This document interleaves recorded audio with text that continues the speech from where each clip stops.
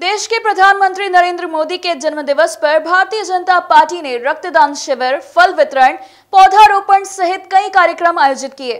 आयोजन में जिला अध्यक्ष ओम सोनी सहित भाजपा के सभी कार्यकर्ता मौजूद रहे।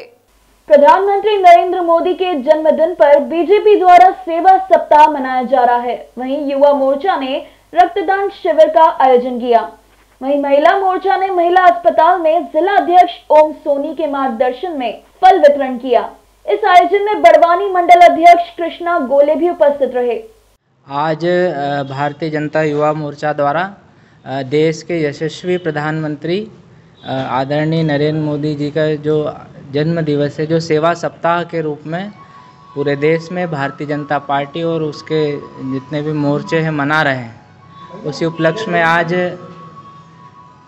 हमारे यशस्वी प्रदेश अध्यक्ष अभिलाष पांडे जी के आह्वान पर आज बड़वानी नगर में रक्तदान शिविर का आयोजन किया गया है, जिसमें बड़ी संख्या में आज युवा आकर यहाँ पर रक्तदान दे रहे हैं। भारतीय जनता पार्टी के ही नहीं, और देश के ही नहीं, पूरे विश्व के सबसे बड़े नेता भारत के यशस्वी प्रधानमंत्री नरेंद्र मोदी जी का जन्मदिन है। आज भारतीय जनता पार्टी महिला मोर्चा की ओर से भारतीय जनता पार्टी मंडल बड़वानी की ओर से और भारतीय जनता पार्टी ज़िले की ओर से आज फल वितरण किया जा रहा है वृक्षारोपण किया जा रहा है। रक्तदान शिविर, युवा मोर्चा की ओर से लगाया जा रहा है। विभिन्न प्रकार के हमारा जो कार्यक्रम है, वो चल रहे हैं। चौदह से बीस सितंबर तक हम सेवा सप्ताह के रूप में मना रहे हैं।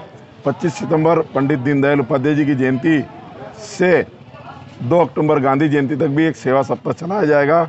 जिसमें स्वच्छता अभियान, वृक्षारोपण रक्तदान, प्लाज्मा दान, ये सब प्रकार के कार्यक्रम हमारे भारतीय जनता पार्टी के चौबीस ही मंडलों में किए जा रहे हैं।